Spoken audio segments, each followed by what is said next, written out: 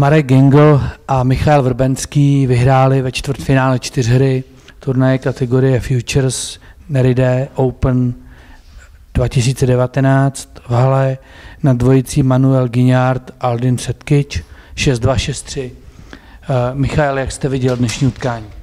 Tak dnešní utkání jsem viděl tak, že jsem na, na něj čekal 6 hodin a pak soupeři předvedli tohle, tak jsem lehce znechucený.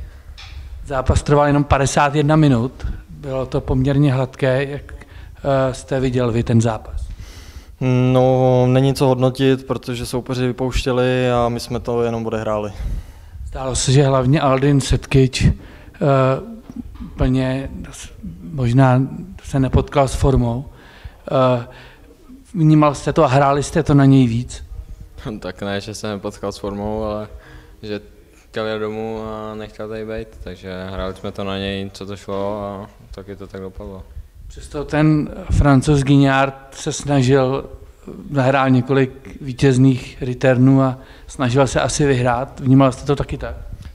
Snažil se, ale zase hrál na 200% jako razanci úderů, že do toho pálil hlava nehlava. No. no. To se hraje někdy dobře. No.